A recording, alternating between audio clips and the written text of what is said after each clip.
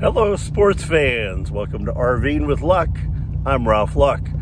And today we're just going on a little adventure, but I thought I'd inform you about this state land I'm on. And I'll show you as I'm driving. Uh, behind me here,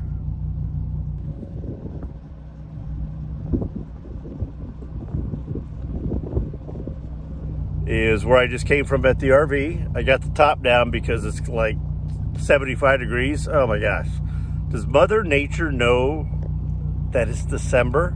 I've got shorts and a t-shirt on and I'm hot. Put the top down or maybe the AC. I don't know. Once I get going, it'll be fine though. It's definitely a cloudy day. But let me show you the front here as we go towards a closed street. And uh, this is a dirt part, but as you can see, it's got gravel on it too, and I'll explain why.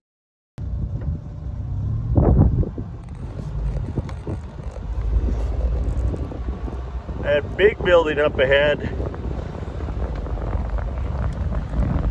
some sort of commercial building. I'll have to look into what it is. And behind that is the I-10. It's great. I love seeing the lights and the and whatnot, but definitely cannot hear a sound of it. And now you'll see we're going on to pavement. Yes, this is actual pavement. To the left there it was too. And check out this giant open spot of pavement up here. This is actually like the northern end of the landmark I'm going to describe. The other day I had several cars here and they were flying the old school remote vehicles. That's some good firewood there. Lots of trash, which is sad. Let me give you a spin around here. See lots of trash. That up there is like a West Tech School of Dental Assistants and Salon. oh, wait a minute. I think that yellow one there straight ahead is that one. So I misspoke about that one there a minute ago. That one has school buses at it. Uh, but that yellow one, yeah, that's dental assistance and salon training. Very interesting. Put those two together. And that's where I just came. Those mountains, they look pretty small here, don't they? Let me see. Those mountains are the Estrella Mountains. Let's see if I get a good picture of these. Those are the White Tanks. White Tank Mountains are not actually that big. We're just closer to them. The Estrella are actually bigger. But let me show you an aerial photo of this and explain what it is. So here's an aerial photo of the place. And this is actually an auxiliary airport of Luke Air Force Base uh, several miles away. I remember seeing it back in the early 2000s listed on on maps and Google if it was around then, I don't know. Um, and that's why this is paved. And you can see from the diagram that it's just about like Luke Air Force Base. I'll show you that here as well.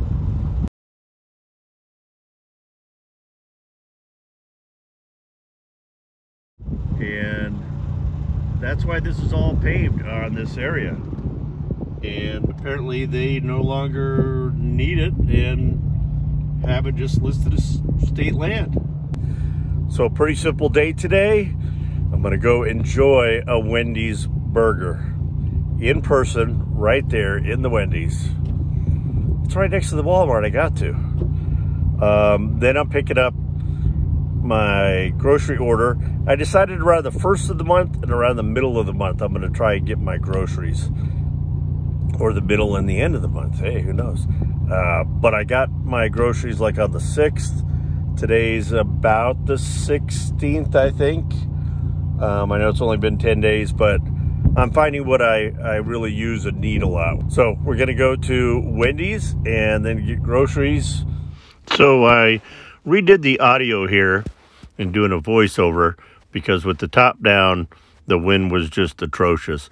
So there's a really nice community here in Buckeye, which had originally been like farm fields and things like that, but they built the Sundance area and they have different areas in Sundance.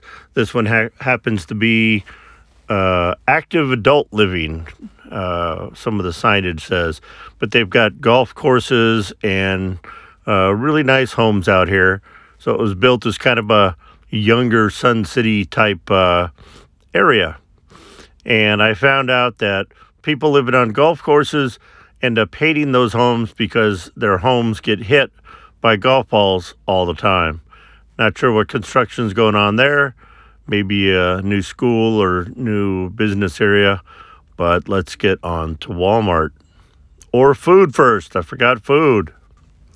Well, after going into Wendy's and not seeing anything that made me very comfortable to stay and eat there, I had a change of plans.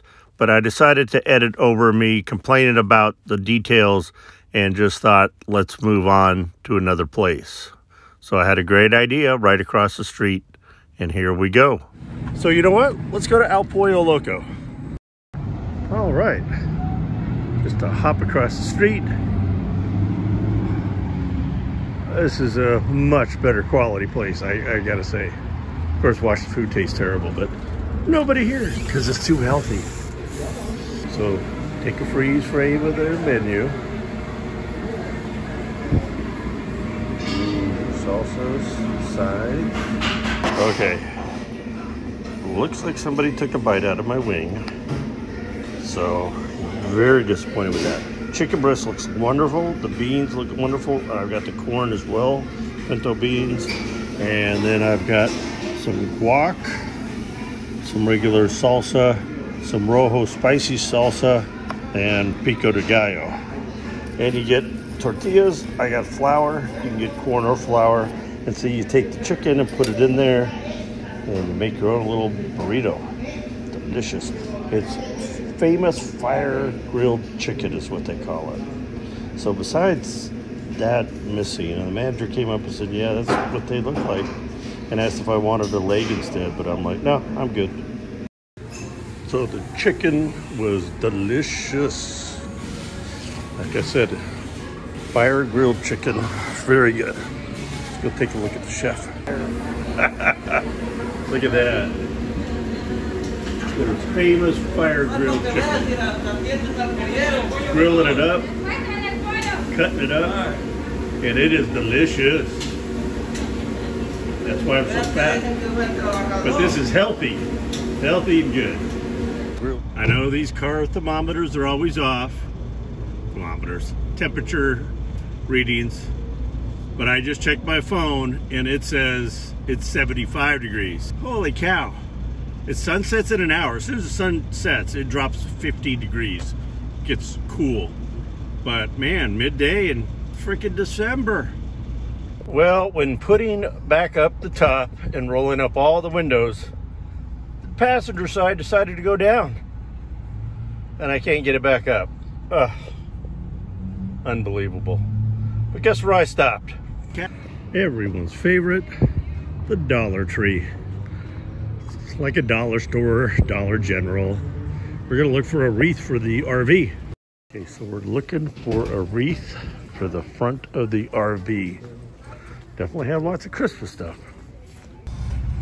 So I got a mini Christmas tree and a bow with the little thingamabobber for the front of the RV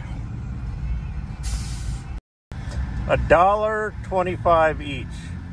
Not bad. Have a little christmas spirit in the rv and now we wait.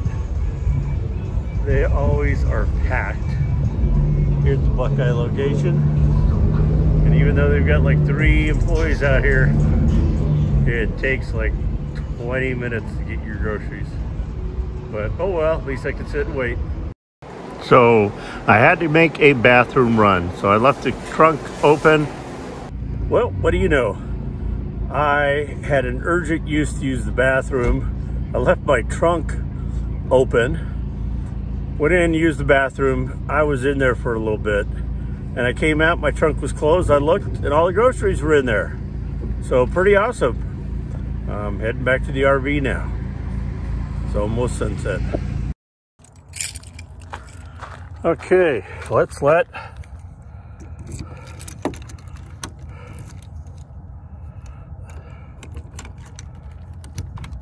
the crazy cat out. Where you at, Ninja? Come on out. Oh. Where you at, Ninja? Come on outside. Are you up there? Huh? Aha! She's been in her bed in the front seat. If only you travel up there when we uh, are riding. Huh? Yeah, hello. Hello. Yeah, thank you. Come on outside. Come on outside. You gonna come outside? Maybe she'll figure it out in a minute. There we go. A little Christmas spirit. you always got to be in the in the frame, don't you? You think everybody just loves you, don't you? Well, you're right.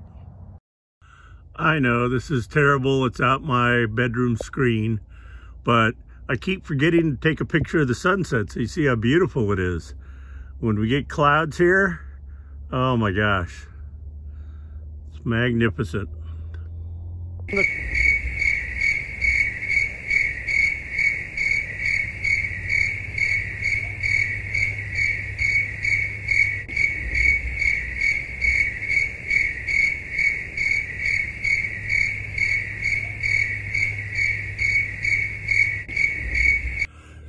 So I uh, finished putting away the groceries, Ninja's outside, and that's another day in the books. I'm going to have a couple of beers because it is Saturday for me. Two nights a week I'm allowed.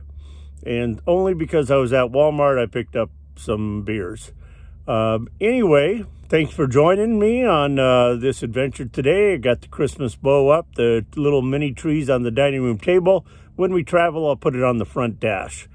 Uh, but for now, be positive, be nice, be active. If you enjoyed this video, please smash that thumbs up button. It really helps the channel. And also, if you haven't already subscribed, we'd love to have you as part of the community, and you get alerts anytime I post a new video. From Ninja and I, we bid you adieu. Have a great day.